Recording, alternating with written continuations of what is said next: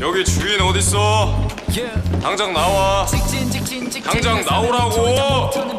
돈을 빌렸으면은 돈을 갚아야 될 거 아니야. 누구는 땅 파서 장사하나 이씨. 주인 나오라고. 나오라고. 나 마장동 오소리 감투야. 어? 내 돈 20억 줄 때까지 나 여기서 한 발자국도 안 움직여. 야, 네 술관이고 나발이고 그냥 확다 피바다로 만들기 전에 내돈 20억 내놓으라고.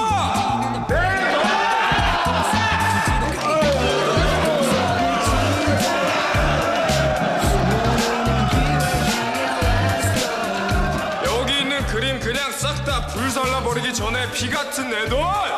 내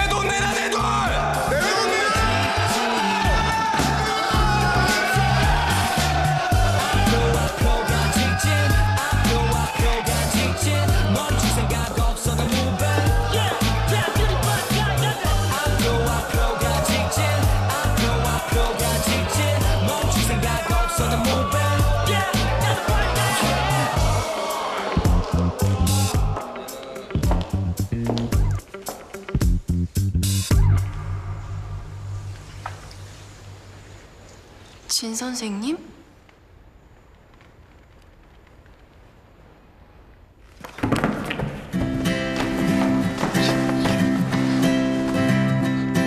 아닌데요?